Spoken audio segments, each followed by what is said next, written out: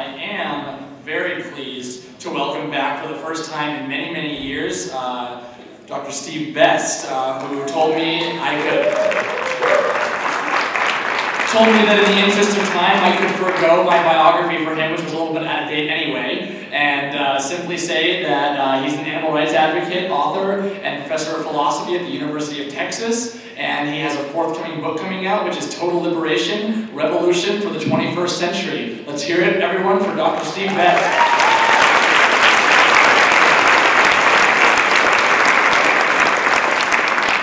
Thanks. It's great to be back to this forum after a long time. I've been asked to talk about the history and philosophy of animal rights, so I'll do that, and please, I don't want to be too contentious. But uh, the philosophy and the history of animal rights uh, has been um, formulated in opposition to the philosophy and history of animal welfarism. So I'll say a few things about that and uh, try to underscore what I think is the real significance of our movement. Um, views of animal welfare actually can be traced back as far as the Old Testament. We find emphases there of treating animals kindly and not unnecessarily abusing them or causing them pain without some sufficient reason. That's very different from the uh, logic uh, nature of animal rights, as I'll try to uh, show. Um, both welfarism, however, uh, in its utilitarian context, I'll describe, and rights have emerged in a modern context, the 17th, 18th, 19th centuries, that is very much bound up with capitalist societies. So when we look at uh, modern welfarism, uh, animal welfarism, we see it's associated with the theories of utilitarianism, which have been developed in the 18th and 19th century by thinkers such uh, as Jeremy Bentham and John Stuart Mill. Of course, the emphasis of utilitarianism uh, comes out of capitalism, capitalist society, because it emphasized the primary values were pleasure, happiness, and some kind of utility seeking, which is what the economists and revolutionaries of capitalist society were doing uh, perhaps in some vulgar way, that's what they were doing. Utilitarianism, of course, says that the right action is the action that brings the greatest amount of happiness for the greatest amount of people. Now, that's a very um, self-evident and satisfying philosophy, right? Because it seems to benefit the majority. In fact, that philosophy, although it came out of capitalist society, was very subversive of capitalist society. Because if put into practice, we're really talking more about a socialist kind of ideology in society than capitalism, right? Because capitalism is based upon a minority of a class domination over the majority of people. So in fact, if this utilitarianism were put into place socially, economically, and politically, we would have a, a situation where the 99% are dominating society instead of the 1%, which is what we have now. So in terms of uh, animal moral status, utilitarianism was also a very satisfying doctrine because it shifted the whole ballgame all the way from Aristotle to Descartes and Kant. Every damn philosopher and major thinker in Western society said animals can't have rights because they don't have reason. And everything turned on this concept that animals don't have reason, although we have always overestimated our rationality and underestimated the rationality or intelligence of animals, haven't we? What an irony. What an irony. We're not that intelligent of a species. We're destroying our own world. So what utilitarianism did was says, no, it's not rationality that's important, it's sentience, the ability to feel. And then you have moral interest. So of course, as Jeremy Bentham put it, the question is not, can they think? Can animals think? The question is not, can they reason? The question is, can they feel? We know the answer to that. God damn it, we know the answer to that in every film we see and every banal or marvelous experience we have with animals. We know the answer to that question. But utilitarianism became anchored to animal welfarism in a somewhat conservative way. Because although it endowed animals with a moral status, this moral status was uh, something that could be traded away for utility, for a greater gain. Oh, well, if humans can exploit animals and we can get a greater gain or benefit out of it, then so be it. Just don't punish them, hurt them unnecessarily. If you have to sacrifice their interest toward ours, if you have to sacrifice their interest to a greater interest, the human interest. And so it was done. And so it was done uh, historically and always throughout history. And utilitarianism and its welfarist implications became the dominant way of assigning animals moral status uh, until animal rights emerged late in the 20th century, in the 1980s and thereon. Now, rights discourse, too, comes out of capitalist society. It comes out of natural law philosophy from thinkers uh, such as uh, John Locke. It comes out of the American and French revolutions. This discourse did not exist before the American and French revolutions in that era. It emerged, rights emerged in a capitalist context that assigned individuals the liberties to pursue their freedoms and their visions of the good life as they saw fit.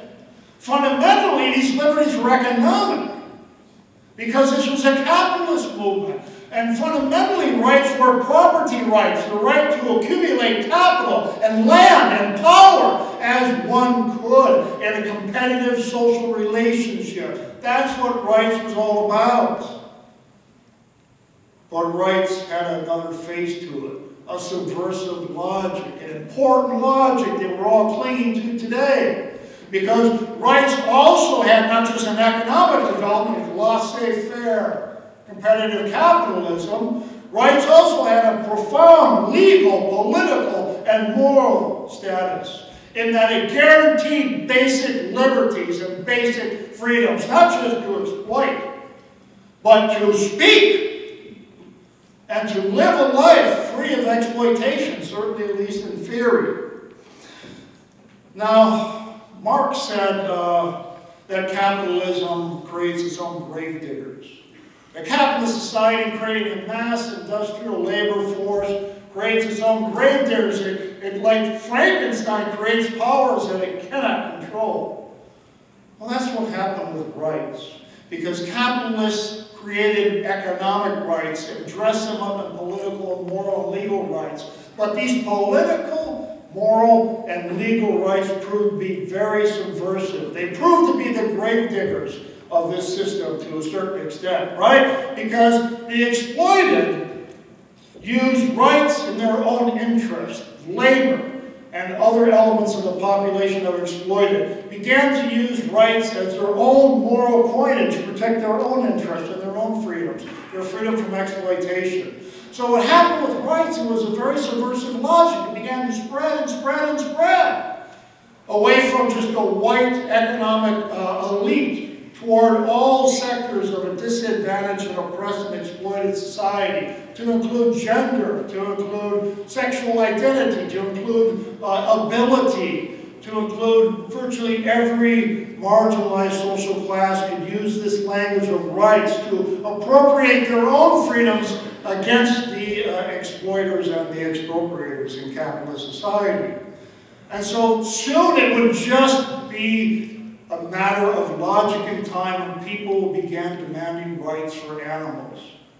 In fact, the very era, the very moment that rights began to appear for in human, in human context, you already see people speaking of animal rights. And I'm talking about the 17th, 18th century, you can see reference to animal rights. Not just welfare, but animal rights. But it was through welfarism that uh, the, this, this movement would eventually advance. And it was through welfarism that uh, a lot of important things happened through animals. And this, this developed further, of course, uh, in animal rights. Now, um, in their logic, moral rights, animal rights, are the following. One, they are egalitarian. They establish intrinsic value for all beings who have value. Uh, suffering is suffering, Captivity is captivity and exploitation is exploitation for the animal rights movement. Building on this idea that human beings are, are fundamentally equal. We hold these truths to be self-evident, then we just have to extend that to the next step and say that uh, animals are also of the same equality, and in fact use utilitarianism to do this. Notice how these two logics, these two philosophies that have been so counterposed in modern uh, history, such as between Mill and Kant, if you know that reference, these come together really in the context of rights for animal rights. Um, we're no longer talking about, with animal rights, responsibilities to animals, being kind to animals. We're talking about the rights of animals. Not our responsibilities to animals, the rights of animals. So we're not talking about kindness anymore, we're talking about justice. These are two very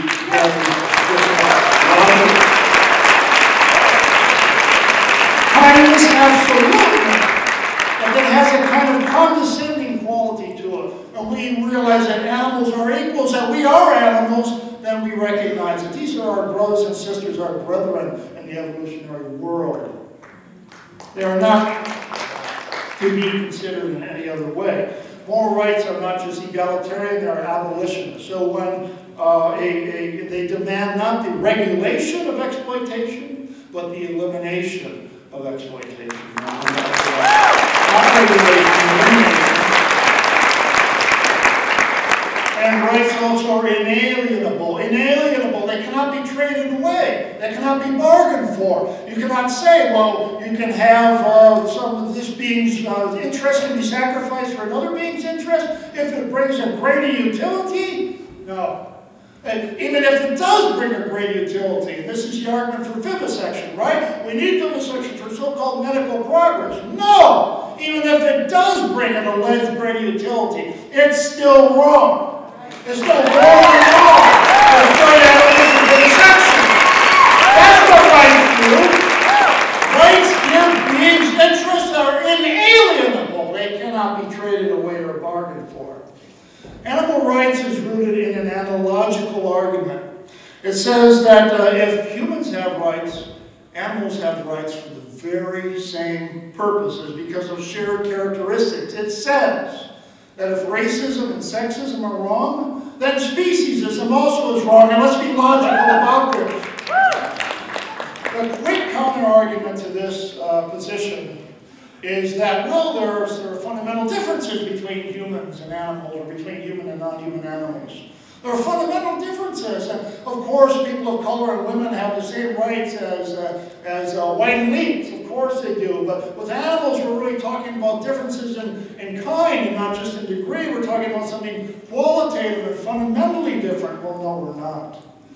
No, we're not, because really the basic moral touchstone for any theory of value has to be sentience and not alleged irrationality. No, we're not, because notice that the logic of equality is also a logic of difference. Look at all the people in this room tonight. We have people of different ages. We have people of different genders, of course, and we have, to some degree, people of different ethnicities or races. And does, uh, does that mean that because there are differences, we're not all the same? We don't have the same moral innate intrinsic value? No, no. And I hear we have some dogs in the room too. I haven't heard any cats speak up, but I've heard some barks. And imagine if we had giraffes or elephants in the room, okay? Does that mean that suddenly the moral picture of this room has changed? No. We all have fundamental interests. We all feel pain. We all have desires and pleasures in life that, that we want to be satisfied and that should be respected. And so there is, of course, difference, but these differences are not morally relevant. Factual differences amongst people between human and non-human animals, but they're not morally relevant. So the logic of equality really is a logic of difference as well. If we eliminate all of the bogus arguments that are used to buttress human supremacy, we come down to this. That rights are legal and moral constructs to, to protect any being that has interest. If you have an interest in living well rather than living hell, if you have an interest in that, and you have a right to protect it according to any decent, moral, philosophical, or legal argument.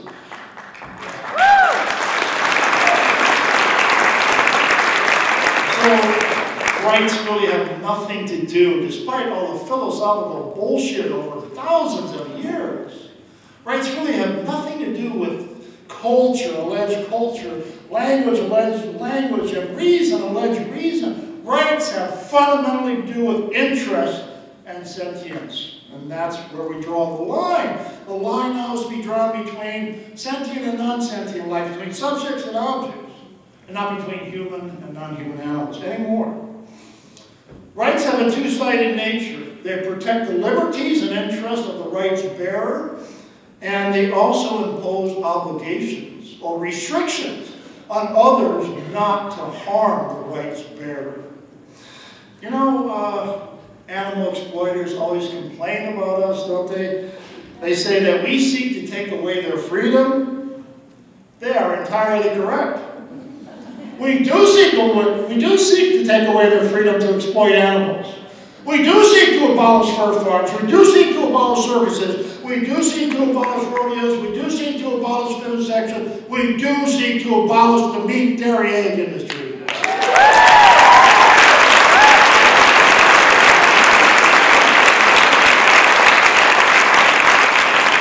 damn right we're here to take away your freedoms, your alleged freedoms that you should never have an society or civilization. Damn right we're here to take them away. And that's why they want to take us away.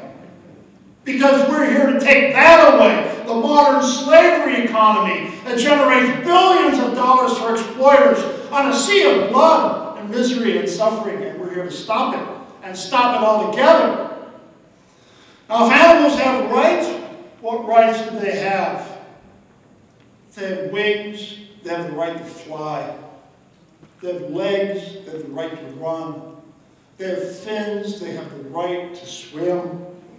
They have the right to live their own lives as they choose. They have the right to be with their families and, and relationships and in a natural environment that is not degraded and poisoned. They have the right to enjoy their lives, the right to self-determination. Right to self-determination right from exploitation from predatory, bloody human hands.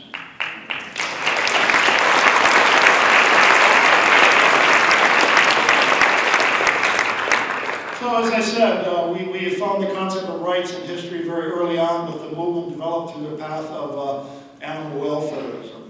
And that's fine, it's, it's an evolutionary movement. Uh, this certainly began in 1975 in a very salient way with Peter Singer's book, Animal Liberation. I don't know about you, but that was one of the first books I read around 1985, and that blew my mind. That changed my maps and changed my categories, book, right?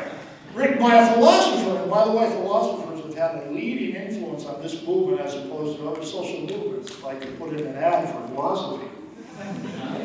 Uh, so Peter's, uh, Peter Singer's book was brilliant in its empirical description of animal exploitation, and it also provided some very strong moral argumentation for the moral status of animals. But it didn't provide enough moral protection for animals, because their interest can still be traded away. And that's obvious if you look at Singer's positions on, on vivisection.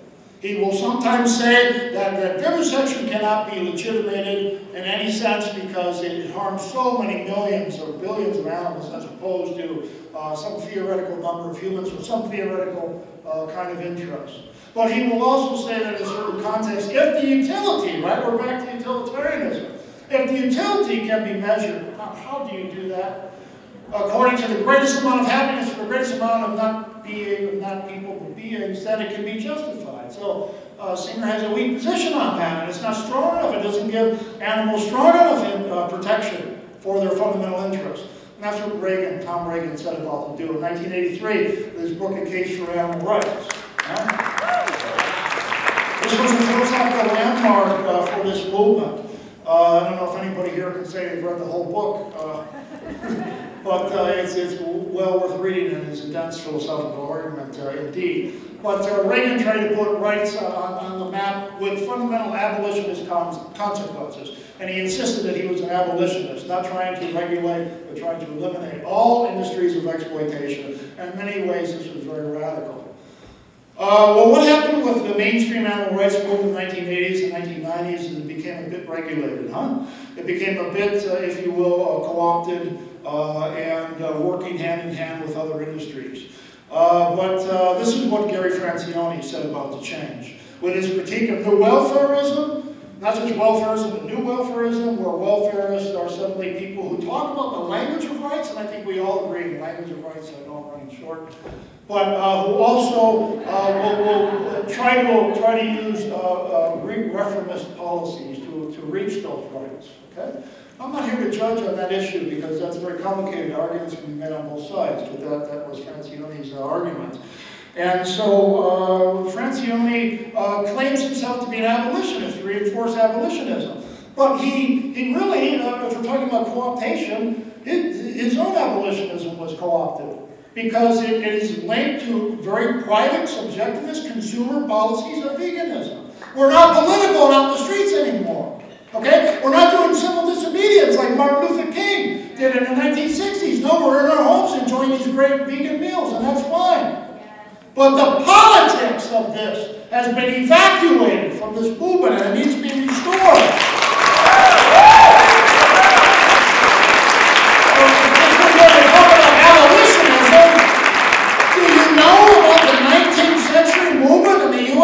abolish slavery? Do you know? Have you read about it? Do you know what they did? Uh, well, uh, among other things, it was very pluralistic. It used all kinds of tactics across all kinds of people, including, yes, violent tactics. And uh, it also uh, sought to bridge alliances amongst different kinds of groups. And uh, it uh, also was um, very militant in various ways. We have lost, if we call this abolitionism, we have lost all of what we had in the 19th century U.S. here.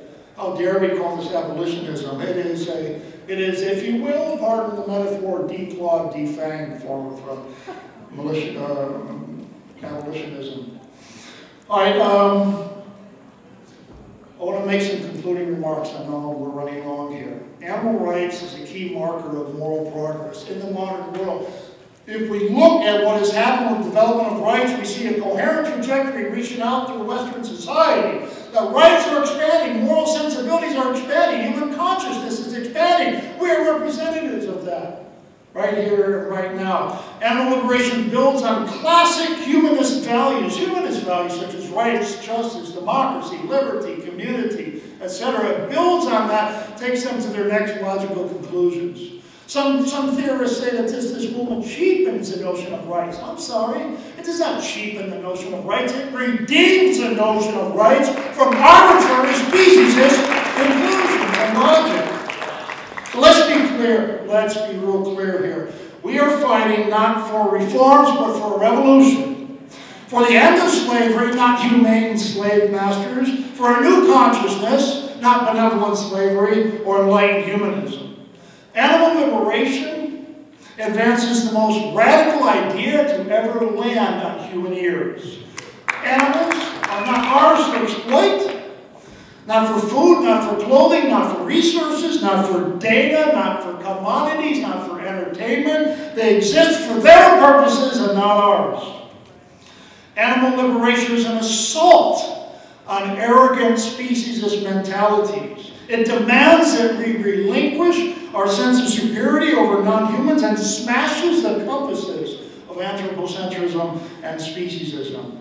It provokes people to realize that power demands responsibility and that might is not right.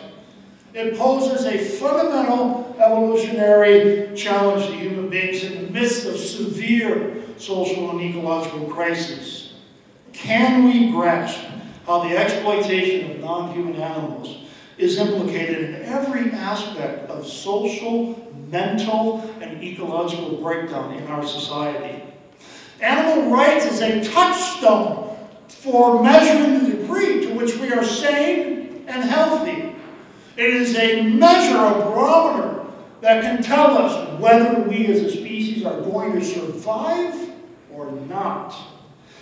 Animal liberation is the most difficult battle that humans have ever fought for because it requires widespread agreement to abandon the privileges of power and what people perceive to be their God-given right to exploit other species.